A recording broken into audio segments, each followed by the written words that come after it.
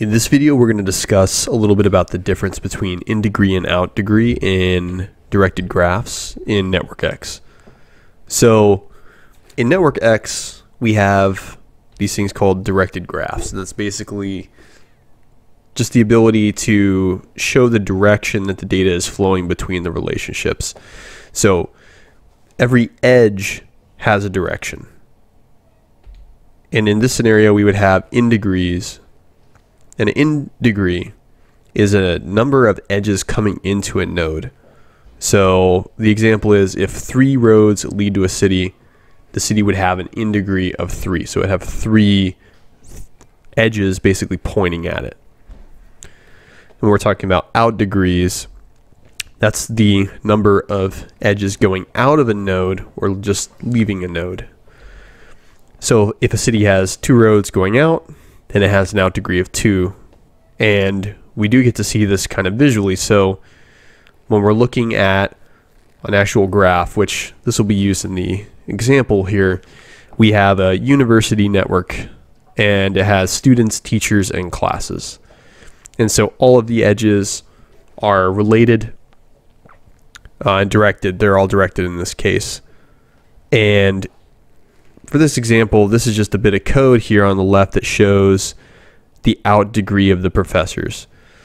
So each of the professors, Alice, Bob, and Carol, they all have an out degree of two.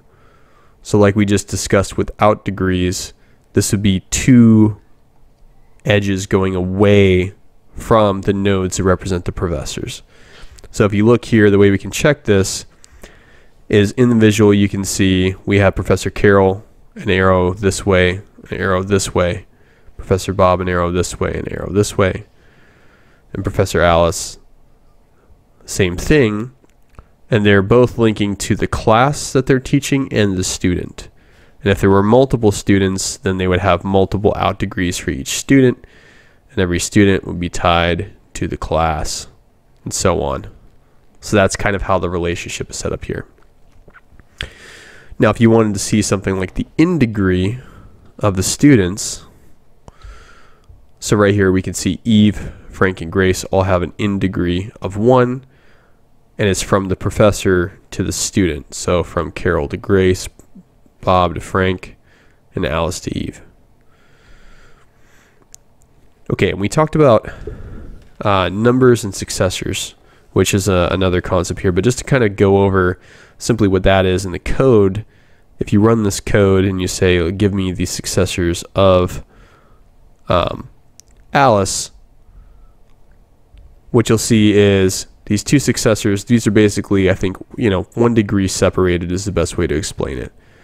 So Professor Alice has these two successors, right?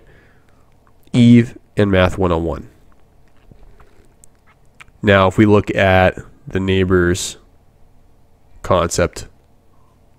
That's very similar, uh, but a little bit different. So if we look at the neighbors of student Eve, you'll see that Eve actually has two classes here. So Eve has neighbors of computer science and math 101.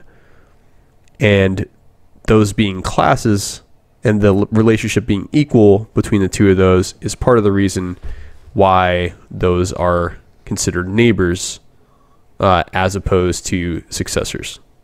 So, one of the things to talk about is what type of graphs exist in NetworkX. So, we have a couple different types that we can work with. And what we were talking about just previously was a D graph. So, if we look at just a graph, that's undirected. So, basically, everything's neighbors, and you just have uh, one edge between two nodes that's possible directly. Then you have dgraph, and so this is where you have successors, and you have uh, you have the you have the direction of the edge, and then you have multigraph, which is just multiple nodes, uh, or some multiple edges between nodes. Uh, so you can you can have lots of different connections for different reasons, um, but it's undirected, so you don't have uh, direction from like A to B. Um, and then you have multi dgraph, right, where you have multiple directed edges. So some examples of this. So if you had nodes in a undirected, just normal graph, then everything might look like this between the nodes. And if you had a directed graph, uh, everything might look like this. So here's some examples of successor relationships uh, between the nodes and the different edges. And if you had a multi-graph undirected, you might have some relationships like this, where maybe nodes 1, 2, and 3 have a couple different varied relationships, um, but they're undirected. And then multi-D graph, you could have something like this, where you have multiple directed relationships possible between nodes. So we're going to go over some code, and you'll have a link to this in this video's description or probably in the comments. So we're just going to go ahead and run this first block. That's just going to import NetworkX. And then we're going to create an empty directed graph. So you see that nx.dgraph. Just going to run that. And then here's uh, fake data. I make these with ChatGPT. You should definitely check that out.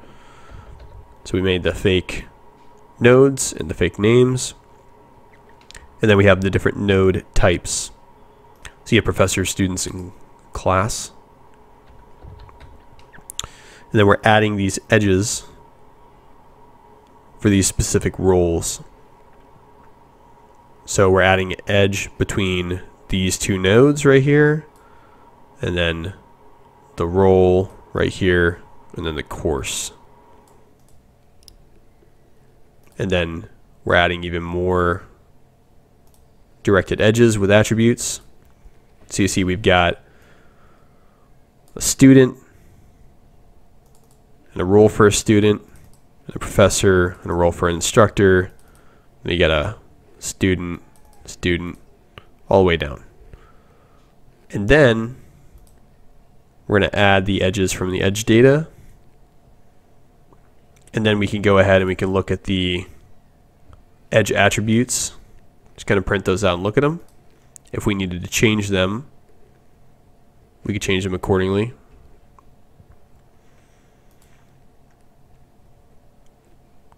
And then we can check that we made modifications, so that's just some code for that. If we want to check the out degrees and in degrees, we can check them here.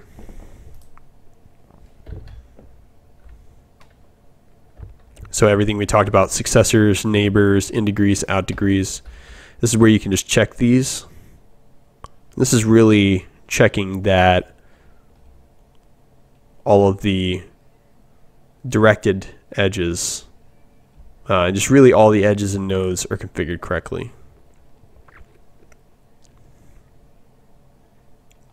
Okay. And then we import matplotlib as PLT. And then what we're going to do, and this is when it comes to actually styling, we're going to want to talk a little bit about the actual styling. So we have different node types, and for those different node types, we have different colors. So professors are in blue, students are in green, and classes are in orange. And if you don't do this, then your graphs can be kind of bland or they can just all take the same default color.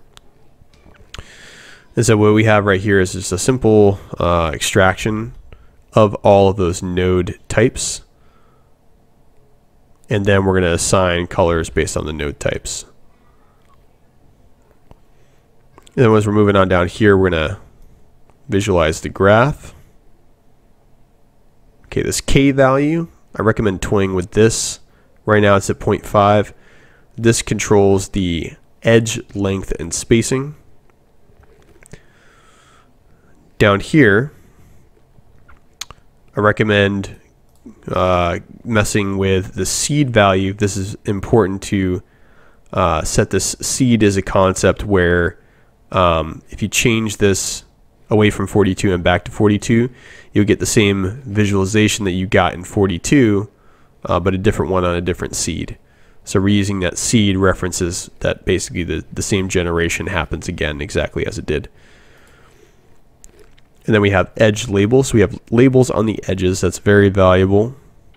And these are the roles.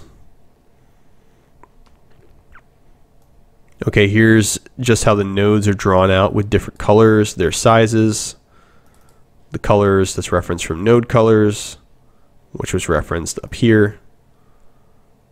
And those node colors, again, we pulled those based off of the different types of nodes.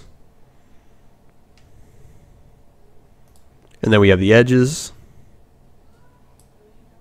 the edge labels. And then one thing that's valuable to keep in mind is the label positions. So for this one, I made it so that the label positions were slightly above where they would normally be by adding this. Said y plus 1. So think of x and y, and this is y plus 0.1 uh, for each node. And that's that's definitely uh, definitely a quality of life improvement for how this thing looks, and I can kind of show you what it looks like when it gets a little bit different. All right, here's the labels uh, for the nodes this label positions, that's what actually feeds this parameter right here. Font size is 12. And then we're showing the plot. So to kind of show you some of the styling work, this is, I think, really important. You can see kind of what happens. Let's say I take this font size down to 8. When I rerun this, you'll see that all of the text for the students is a or just all the edges is a lot smaller. So I turn it up to something like 18, then we run that.